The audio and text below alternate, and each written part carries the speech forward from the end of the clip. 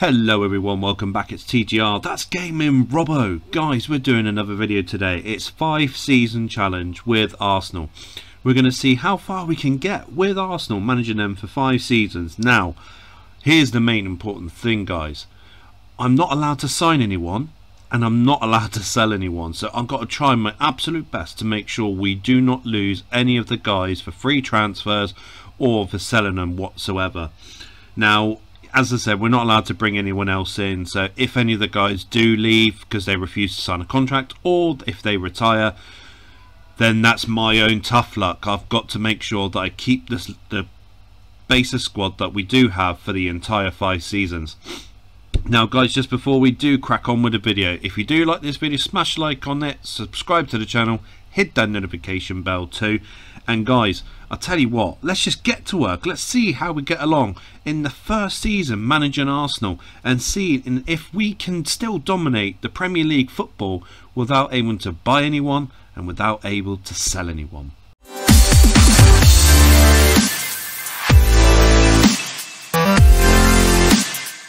So guys, we've come to the end of the first season. As you can see already, we haven't won the Champions League, which is quite unfortunate. But looking at the Premier League, we've already come second, which...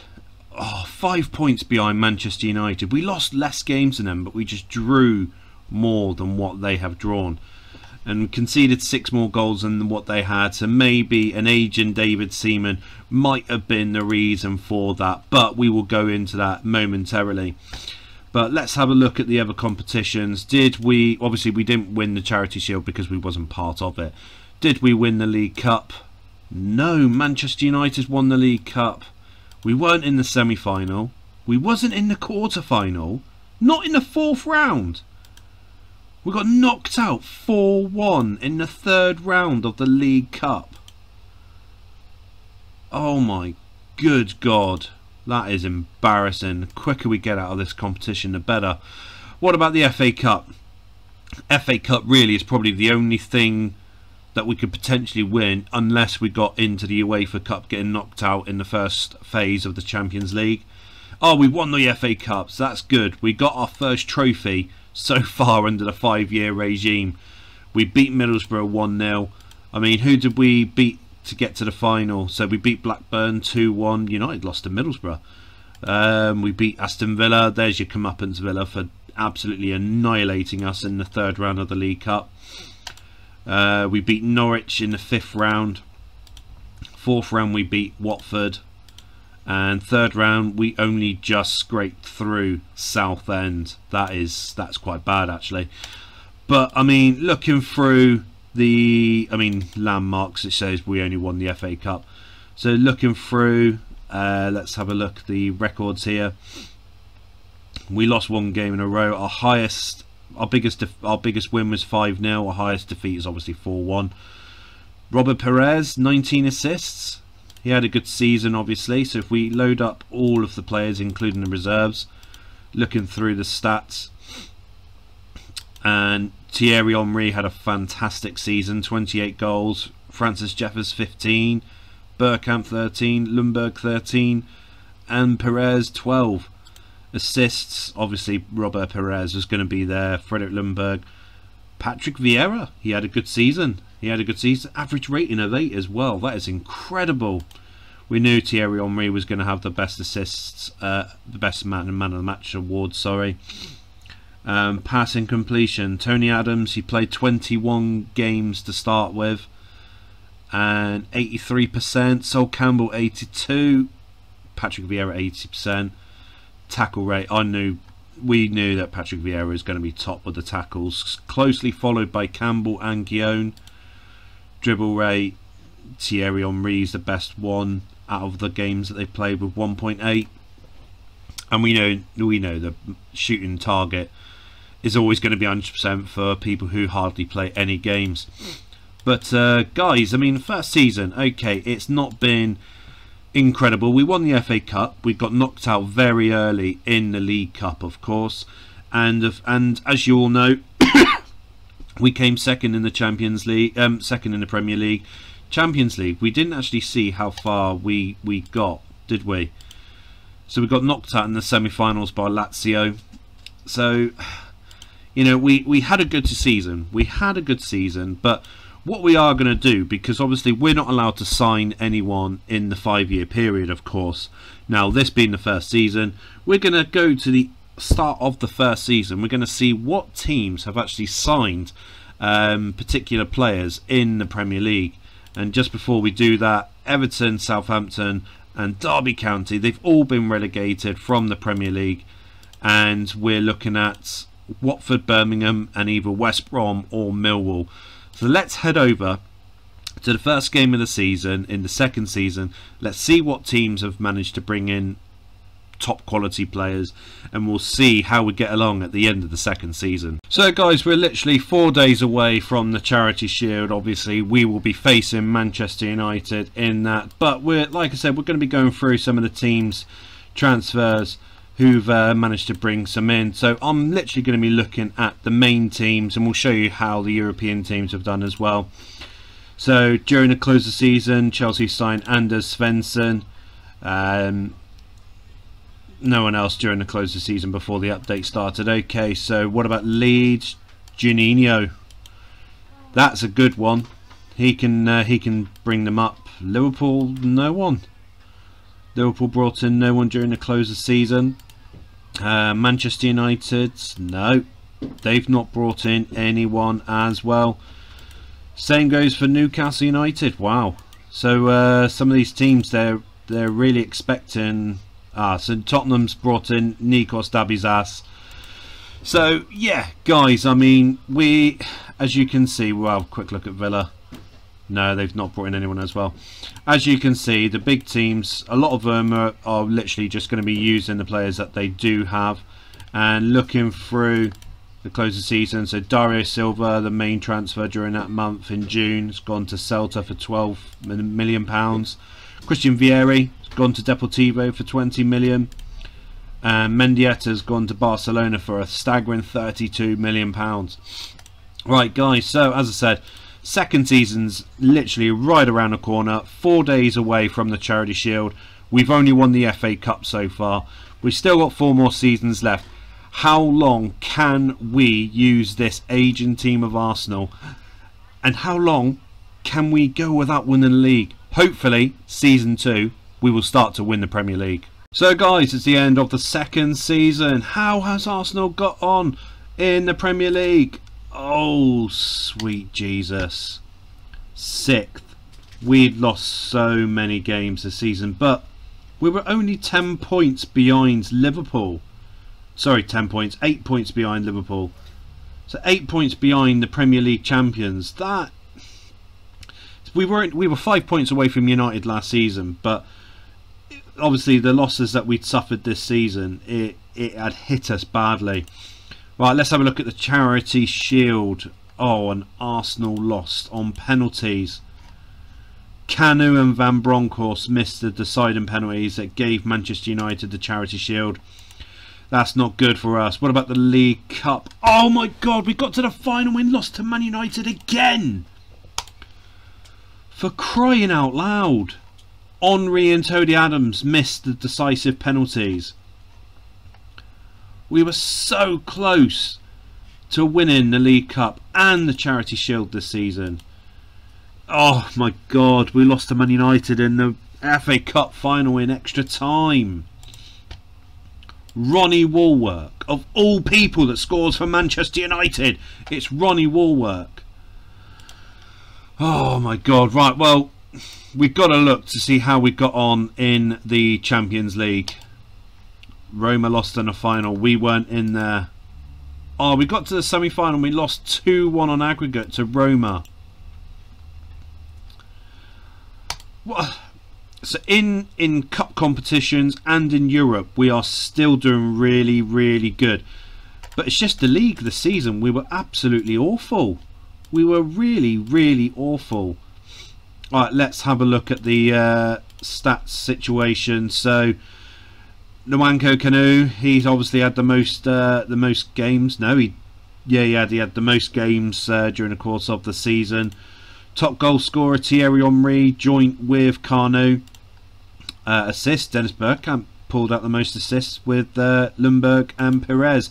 Pires is absent without leave. He's not happy that he's not allowed to move clubs. Oh my god. this is what happens when you say they're not allowed to sell any players. Tackle rate, Patrick Vieira is a beast. Dribbles, Dennis Bergkamp, uh, he's, he's had a good season. And Patrick Vieira is still valued as the most valued player in the team. But as regards to Robert Pires, I don't want to sell anyone because obviously we've still got three seasons left but he's absent without leave. I honestly do not feel he feels he should be a first team regular. He's basically been a first team regular all season. I feel that we if we can't resolve it by the time the third season starts, then we're going to have to sell him. So we've got the summer to try and sort it out for Robert Pires. But let's head over to the start of the season. We see what teams have managed to bring in what, and hopefully by then Robert Pires and Arsenal, we could have solved out this differences and hopefully we can get Robert Pires firing on all cylinders. So we're coming up to the, the start of the third season. As you can see, we're still not brought anyone in. Just a quick recap. Obviously, we Oleg Luzhny had to go because his work permit had failed. Sylvain Wiltord's gone because he refused to sign a contract. But looking at the other teams' transfer records at the moment, I mean, Aston Villa's brought in Frank Lampard during the close of season this season. Uh, Chelsea, they brought no one in during the close of season. Um, Leeds United, they brought in Zenden from Barcelona and Lakis as well. So they've had uh, they've had a good summer.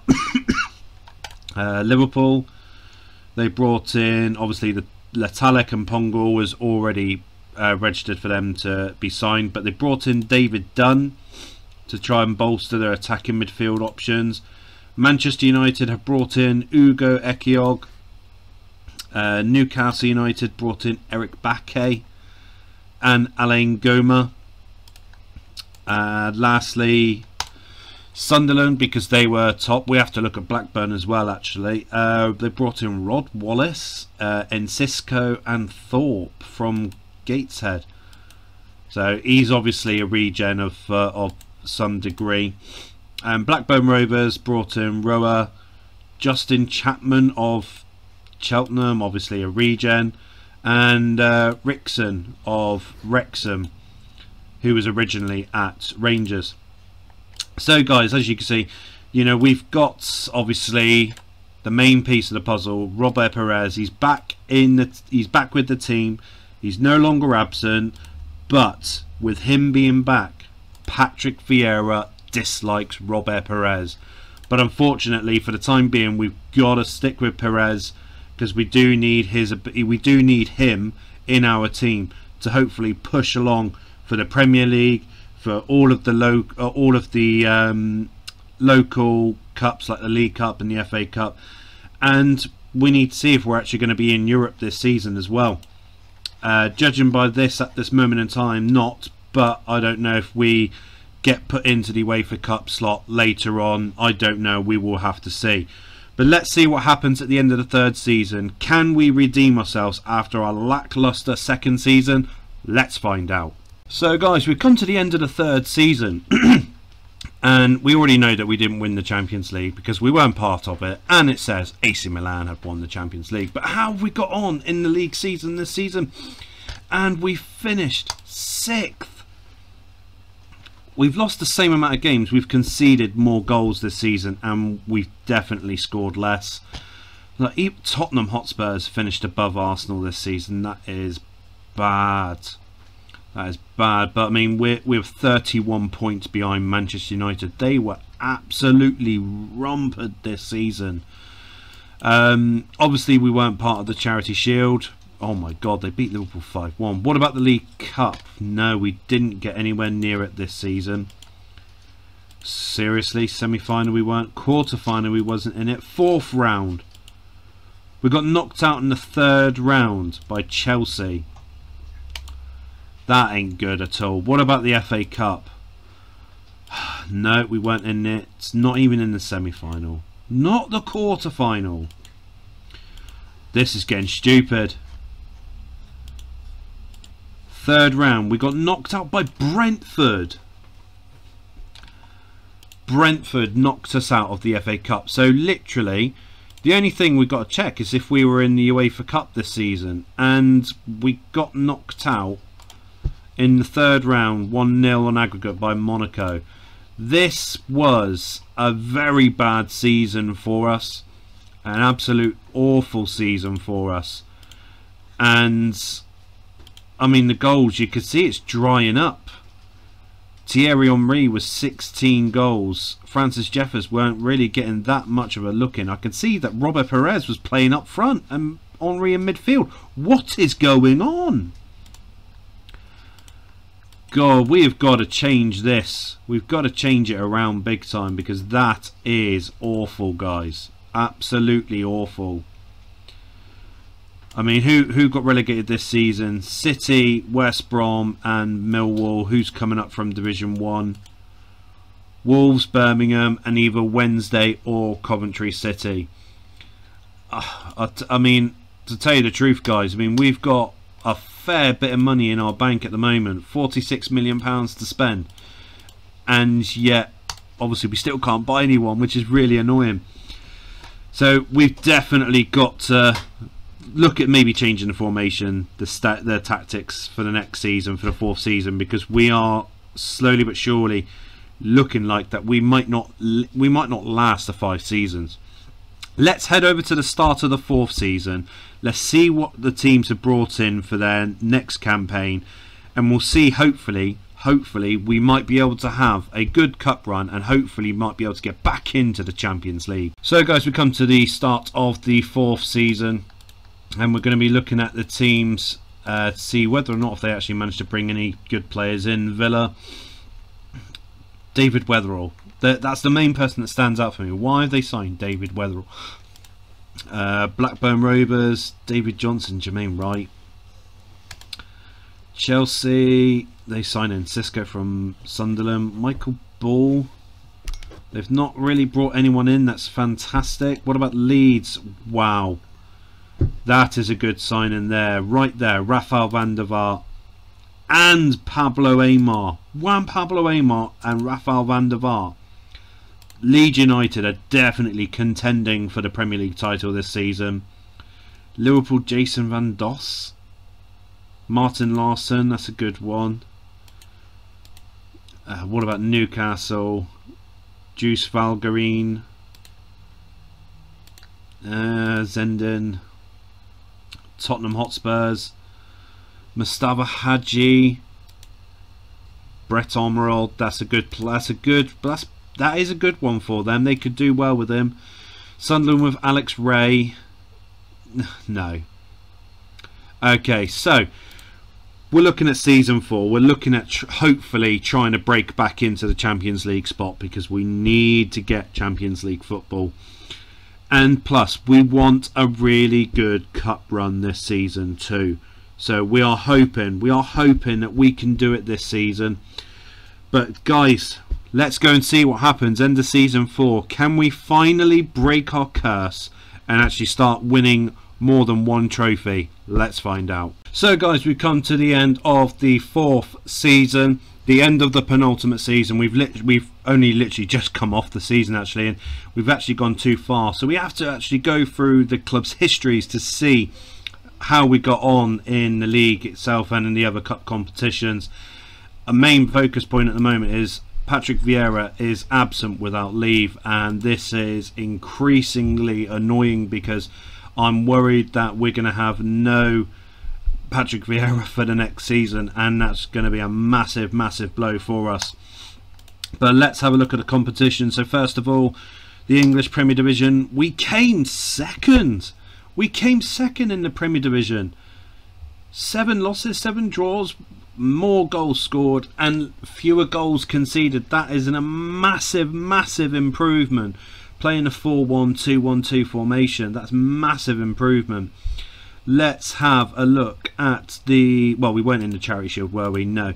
What about the league cup? We won the league cup! Oh my word!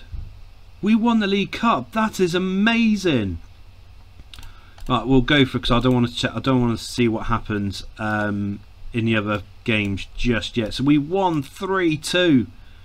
Pires, Inamoto, and Jeffers makes it three two. So that's our second title that we've won. That is absolutely brilliant. What about the FA Cup? No, we didn't. We didn't win the FA Cup. So where did we come in the FA Cup? Third round again. We won. We we got through to the third round. What about UEFA Cup? We got to the quarter-finals. Let's have a look because we now we know what's happened. So in UEFA Cup, we beat Delamont, we beat Spartak Moscow, we beat Ipswich Town. Uh, let's see. Fourth round, we beat Celtic. It was Inter Milan. Inter Milan they knocked us out. That's uh, that's unfortunate for us. Third round of the FA Cup, we lost to Scunthorpe. Seriously, that is humiliating. So let's have a look at Francis Jeffers. He scored 36 last season. Oh my days! And Thierry Henry scoring 24 goals this se um, last season as well. That's uh, that's a massive, massive improvement.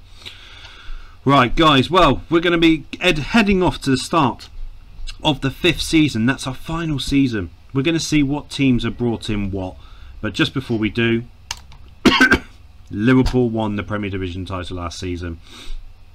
That's uh, that's something we've got to change for the fifth season. The fifth season, I'm hoping we will have Patrick Vieira back. I'm hoping that we can really fight for the Premier League title. So let's head off to the start of the fifth season. Let's see what teams are brought in, and then we'll finish what we started and hopefully win the Premier League title in the last season. So guys, we come to the last season of the Premier League and I'm looking forward to seeing what happens. I mean, Patrick Vieira still hasn't come back. I don't know if we're going to have him at all this season, but looking at the other teams, their transfer window at the moment, Aston Villa with Mark Kerr, that's a, a, a phenomenal transfer for them. Chelsea's brought no one really that's worth mentioning. Leeds, no. Liverpool, no. Manchester United, they brought in Rui Costa on a free transfer as well as Bobby Petta. Apart from that, I mean, we may have a chance. We may have a chance all it all determines and what happens with Patrick Vieira. I think that's going to be the main focus point. But guys, we're back in the Champions League. We've got a chance to win the Champions League once more, once more for the first time. But so far, guys, we've won the FA Cup and we've won the League Cup. We need to win the Premier League. We need to win the Champions League. We need to win something more than just these two trophies. And this is the last season, as I said, where we're not going to be able to sign anyone. So Let's see what happens at the fifth and final season. Can we finally win the Premier League? Can we do something in the Champions League? Can we do anything in the FA Cup or League Cup? Let's find out. So, guys, it's the end of the fifth season. Have we managed to do anything in the league or even in any of the other cup tournaments? I don't know. But let's find out. How have we got on? Oh my god, we won the league! We finally won the league! That is incredible! That is incredible. I'm I'm so gobsmacked that we've managed to win the league. Oh, that is amazing. That is truly, truly, truly amazing. Let's have a look with all of the reserve players. Uh, Richard Wright was our main goalie. Good. It needed to stay that way. Patrick Vieira finally came back to Arsenal. He still dislikes Robert Pires, but he finally managed to come back, which is absolutely brilliant for us. Goal scoring wise, Francis Jeffers, Thierry Henry, Ashley Cole with 15 goals. Eight of them were penalties. Man alive.